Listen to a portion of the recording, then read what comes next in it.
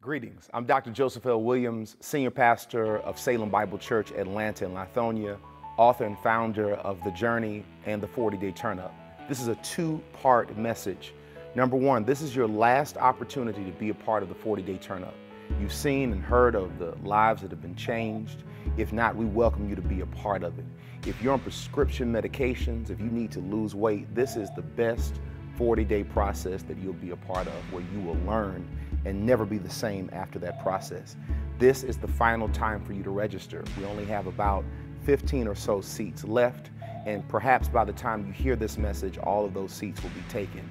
If by chance there are seats remaining, you can go to formyjourney.com. You'll see the information on the screen and register today. Don't wait, do it today so you can reserve your seat for pre orientation is going to be Saturday, July the 14th. The second part of this message is for all pastors around the country. This is your final week to register for the Brotherhood Conference. We are so excited because this is going to be a two day conference, July the 26th and the 27th. Many of you have called, emailed, sent messaging saying that you are planning to be here. However, you have not registered.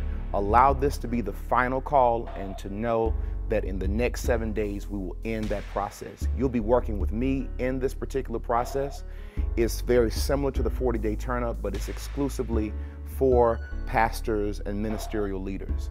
If you go to formyjourney.com, you'll be able to register on today to be a part of this amazing process. I hope you're ready. God knows I am, and I look forward to seeing all of you very, very soon. Shalom.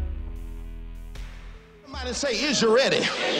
Oh, are you ready, my brothers and sisters, to have a spirit come on you that when you come to church and you sit by somebody with a bad spirit, you got to get up and move because they messing with your anointing. Oh, I wish I had a witness. Look at somebody and say, Are you ready?